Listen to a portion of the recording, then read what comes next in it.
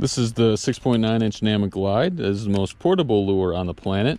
Hooks are stored on the inside of the lure, making it super easy to tie on. You can also put this in your fanny pack, fishing bag, purse, center console, glove box, and it will be 100% tingle free because the hooks are stored on the inside of the lure. I do slide that front hook hook out. We'll slide this back one out. They are press fit in there so they're not falling out on you. And just like that, you're ready to fish.